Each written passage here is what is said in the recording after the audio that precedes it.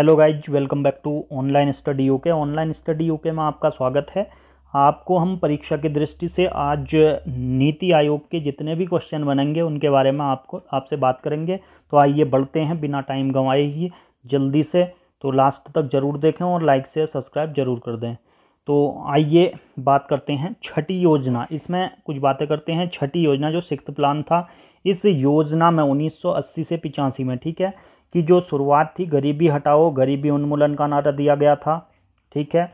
और इससे पहले जो एक कार्यक्रम था, पाँचवीं पंचवर्षीय योजना, जो पाँचवीं पंचवर्षीय योजना थी, इसमें बीस सूत्री कार्यक्रम दिया गया था, ट्वेंटी पॉइंट प्रोग्राम कहते हैं उसे, बीस सूत्री कार्यक्रम सरकार ने जारी किया था, जिसके द्वारा गरीबी, जो गरीब जनता थी, उनके जीवन स्तर को सुधारने की कोशिश प्रत्यक्ष कोशिश, प्रत्यक्ष रूप से की गई थी, ठीक है?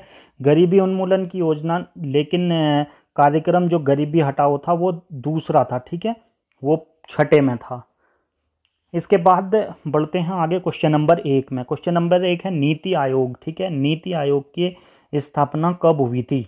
नीति आयोग की स्थापना हुई थी एक जनवरी 2015 को हुई थी, ठीक है? पीएम नरेंद्र मोदी जी द्वारा की गई थी, ठीक है? इसके बाद नेक्स्ट क्वेश्चन सेकंड नंबर में। सेकंड नंबर में नीति आयोग किस सिद्धांत पर कार्य करता है? किस सिद्धांत पर कार्य करता है? सहकारी संघवाद, ठीक है? कोऑपरेटिव फेडरलिज्म में के सिद्धांत पर कार्य करता है ये, ठीक है? नीति आयोग।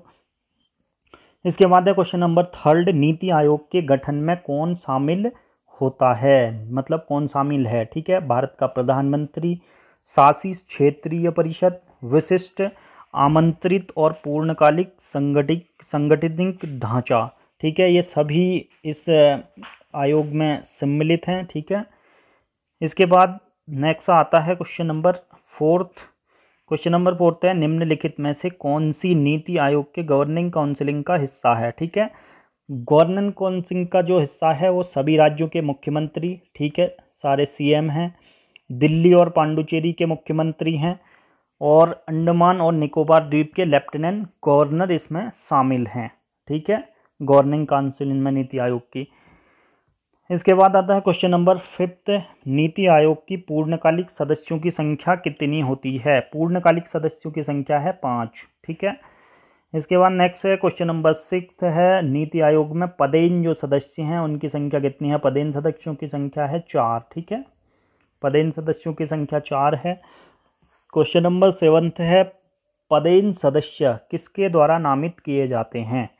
जो प्रधानमंत्री होते हैं, तत्कालिक प्रधानमंत्री होते हैं, उनके द्वारा पदेन सदस्य नामित किए जाते हैं, ठीक है? क्वेश्चन नंबर एट है, निम्नलिखित में से कौन सा नीति आयोग का कार्य नहीं है? ठीक है, नीति आयोग का कार्य नहीं है। राष्ट्रीय विकास की प्राथमिकताओं और रणनीतियों की एक रणनीतिक विकसित करना है, ठीक है? सहकारी संघवाद को बढ़ावा देना कोऑपरेटिव फेडरलिज्म है, ठीक है ये भी। इनका सिद्धांत है ये। ज्ञान नवाचार और उद्यमशीलता विकसित करने वाली प्रणाली बनाना सही है।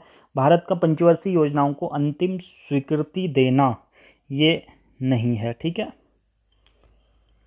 इसके बाद क्वेश्चन नंबर नाइन है, नीति आयोग के वर्तमान सीईओ वर्तमान में जो सीईओ हैं, अभी अमिताभ कांत दा अमिताभ कांत हैं, इसके नीति आयोग के सीईओ वर्तमान में। क्वेश्चन नंबर टेन है, नीति आयोग के बारे में निम्नलिखित में से क्या सही ढंग से मेल नहीं खाता है?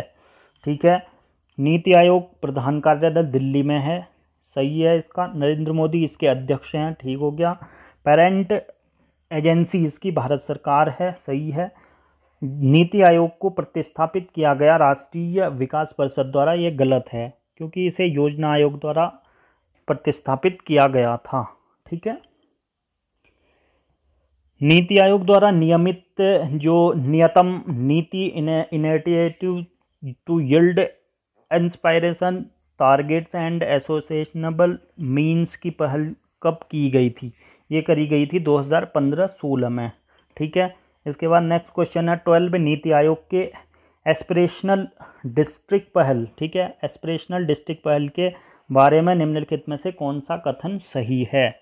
जिलों की एस्पिरेशनल रैंकिंग दस मापदंड पर है, आधारित है, ठीक है? ये गलत है। आकांक्षी जिलों के लिए पहली डेटा रैंकिंग जून 2018 में जारी की गई थी। ये कथन सत्य है, ठीक है? इसके बाद क्वेश्चन नंबर थर्टीन है। एक जून 2018 और 31 अक्टूबर 2018 की अवधि के लिए निम्नलिखित ज़िले में से किस ज़िले में, किस ज़िले ने एस्पिरेशनल जिलों की लिस्ट में शीर्ष स्थान बनाया था? यह था विरुद्धनगर, तमिलनाडु के द्वारा फ़र्स्ट स्थान था, ठीक है? शीर्ष स्थान पे था ये। इसके बाद नेक्स्ट है फोर्टीन क्वेश्चन है, राष्ट्रीय श्रम अर्थशास्त्र शोध एवं विकास संस्थान N I L E R D NITI Aayog का अधीनस्थ कार्यालय है। यह पहले किस रूप में जाना जाता था? ठीक है, ये जाना जाता था आई ए एम आर ठीक है आई ए एम आर के रूप में जाना जाता था। ठीक है नेक्स्ट क्वेश्चन नंबर फिफ्टीन है institute of applied manpower research institute of manpower research institute of applied manpower research की जो स्थापना सोसाइटी रजिस्ट्रेशन एक्ट अठारह सौ बासठ के अंतर्गत किस वर्ष हुई? ये हुई थी अठारह सौ बासठ के एक्ट के अंतर्गत हुई थी उन्नीस सौ बासठ में, ठीक है? उन्नीस सौ बासठ में हुई थी इसकी स्थापना। इसके बाद है आईएएमआर का नाम बदलकर कब N I L E R D कर दिया गया, ठीक है? ये 9 जून 2014 को इसका नाम चेंज करके आईएएमआर का नाम चेंज करके एनआईएलईआर डी कर दिया गया, ठीक है? इसके बाद next question number seventeen, NITI Aayog ने तीन दस्तावेज़ जारी किए हैं। वे हैं निम्नलिखित में से, तीन वर्षीय कार्य एजेंडा है, ठीक है? एक तो सात वर्षीय मध्यम अवधि की रणनीति का, जो रणनीति का दस्तावेज़ है और पंद्रह वर्षीय लक्ष्य दस्तावेज़ है, ठीक है? ये तीनों। इसके बाद है question number eighteen NITI Aayog के एक्शन एजेंडा में, ठीक है? एक्शन एजेंडा में किसानों की आय को किस वर्ष तक दुगनी करने का लक्ष्य रखा गया है? 2022 तक किसानों की आय को दुगनी करने का लक्ष्य रखा गया है, ठीक है? इसके बाद आता है नीति आयोग और योजना आयोग में डिफरेंस क्या था, ठीक है? अंतर क्या है इनमें नीति आयोग यह एक सलाहकार थिंक टैंक के रूप में कार्य करता है। यह सदस्यों की व्यापक विशेषज्ञता पर बल देता है। और यह सहकारी संघवाद, ठीक है? कोऑपरेटिव फेडरल फेडरलिज्म की भावना पर कार्य करता है क्योंकि यह राज्यों की समान भागीदारी सुनिश्चित करता है। योजना आयोग में इसके इसके, इसने एक संवैधानिक निकाय के रूप में कार्य किया है था, ठीक है? जबकि ऐसा, इसे ऐसा दर्जा नहीं मिला था, ठीक है? यह सीमित विशेषज्ञता पर निर्भर था। इसकी जो वार्षिक योजना बैठकों में राज्यों की भागीदारी बहुत कम रहती थी, ठीक है? इसके बाद जो नीति आयोग था, प्रधानमंत्री के द्वारा नियुक्त सचिवों और सीईओ के रूप में जाना जाता है। यह बॉटम टू अप अप्रोच पर कार्य करती है नीति आयोग, ठीक है? इसे नीतियाँ लागू करने का अधिकार नहीं है नीति आयोग को, ठीक है? इसे धन आवंटित करने की शक्तियाँ नहीं है जो वित्त मंत्री के पास निहित हैं, ठीक है? इसमें योजना आयोग में सचिवों को सामान्य प्रक्रिया के माध्यम से नियुक्त किया जाता था। यह टॉप डाउन अप्रोच पर कार्य करता था। ठीक है? यह राज्यों के लिए नीतियाँ बनाता था और स्वीकृत योजनाओं के लिए धन आवंटित करता था। इसे मंत्रालयों और राज्य सरकारों को धन आवंटित करने की शक्तियाँ प्राप्त थी। ठीक है?